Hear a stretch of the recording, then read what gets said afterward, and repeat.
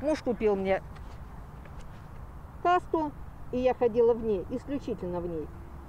А, респираторы привезли, друзья купили за свои деньги и привозили все время.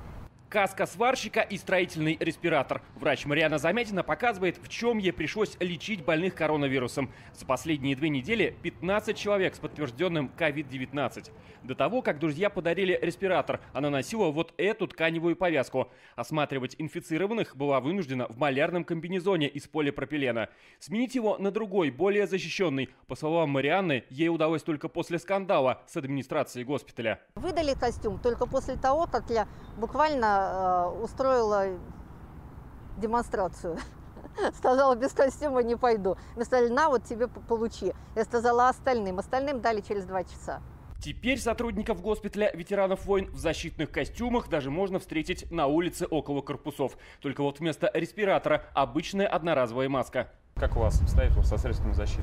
Да вот, защита. Вот в чем, в чем ходим? А маска? Ну, маска, вот маска. Ну, это вот вы и в здании в такой работаете, да? Да, в здании. Ну, вот вы видите, в чем мы одеты. Все. Эти кадры мы сняли около другой петербургской больницы, НИИ травматологии и ортопедии, где сейчас тоже вспышка коронавируса.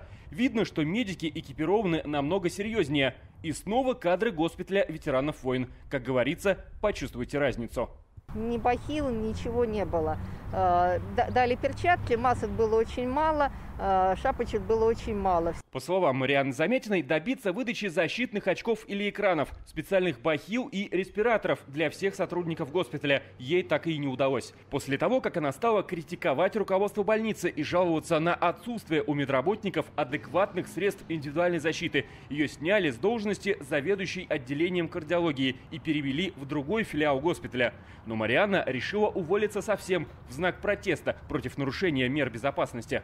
Я сижу в ординаторстве, на мне в качестве защиты одета вот это, одет вот этот респиратор. Я единственная в респираторе, все остальные в маске. Больше респираторов нет ни у кого.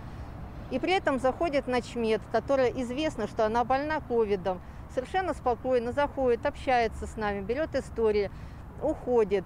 По данным Марианы Замятиной, коронавирусом заболели уже 40 медицинских работников из филиала госпиталя ветеранов войн на улице Народной в Петербурге. В ее бывшем отделении на улице Старорусской заболели две медсестры из семи. Еще две медсестры госпиталя ветеранов войн умерли. Об этом сообщается в появившемся в интернете неофициальном списке памяти, где перечислены скончавшиеся от COVID-19 медики. По нашей информации, умершие медсестры работали здесь, в филиале госпиталя на проспекте Елизарова. Впрочем, в городском комитете по здравоохранению заявили государственному агентству ТАСС. Медсестры скончались либо от других тяжелых болезней, либо заразились коронавирусом не на рабочем месте. Госпиталь для ветеранов-блокадников перепрофилировали в конце марта. Сюда стали свозить больных с симптомами внебольничной пневмонии. По данным администрации госпиталя, у четверти пациентов в итоге подтвердился COVID-19. Рядовые работники госпиталя рассказывают, что покупать средства защиты им пришлось самостоятельно. Опасаясь потерять работу, медперсонал госпиталя просит не снимать их лица. Респираторы у нас были свои, очки у нас были свои, мы из дома все принесли. Стационар на улице Старорусской расположен в старинном здании и, по словам его работников, не приспособлен к приему инфекционных больных. Здесь нет разделения на чистую и грязную зоны. Пациенты с подтвержденным коронавирусом ходят в один туалет с другими больными. Вот так на одной вешалке медики вынуждены хранить свои защитные костюмы после посещения инфицированных COVID-19. Снимать костюмы приходится в одиночку, и это дополнительный риск. Вы можете быть спокойны, что вы не... Здесь спокойным нельзя быть, Вообще. потому что эта больница не предусмотрена для, для таких больных. Не боксов? Это не боксов, ничего, это другая больница. Но ну, вы вышли из палаты, где вы снимете халат? Не знаю, ничего нет. Куда вы пойдете? На лестничную клетку, вы снимете его здесь. Понимаете, это, это, не, это немножко другое. То, что показывают красиво по телевизору, выделенная зона и так далее, это не здесь, это не в этой больнице. Даже одноразовые медицинские маски работникам госпиталя приходится использовать несколько раз. По словам медиков, их выдают по две на день. Поэтому использованные, как видно на этом снимке, дезинфицируют под лучами ультрафиолета и носят по новой. Ответ один. Не нравится? Пишите заявление, да. увольняйтесь. Все. А куда сейчас с таким волчьим билетом можно пойти, когда ты с коронавирусом контактный? Кто примет? Какая больница? Никакая. Заместитель начальника госпиталя уверяет, что его подчиненные всем, чем надо, обеспечены, а просьбы своих же коллег о помощи называет вбросами. Мы полностью готовы к оказанию помощи больным и с пневмониями, и с положительными. Средства индивидуальной защиты в достаточном объеме. Периодически есть вбросы в средства массовой информации, что все плохо, что ничего не хватает, что сотрудники работают с голыми руками, без масок. Это не соответствует действительности. Мы реально оснащены средствами индивидуальной защиты в полном объеме. Это интервью с заместителем начальника госпиталя записали журналисты телеканала «Санкт-Петербург», финансируемого из бюджета города. Видео нам прислал Комитет по здравоохранению в ответ на наш письменный запрос от 23 апреля с просьбой прокомментировать ситуацию.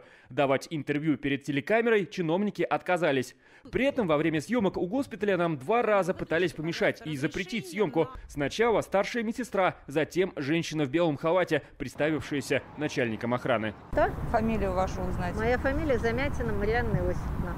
Уволившаяся врач Мариана Замятина на помощь властей уже особо не надеется, поэтому помочь своим теперь уже бывшим коллегам просит всех, кто может. На складах полно строительных материалов.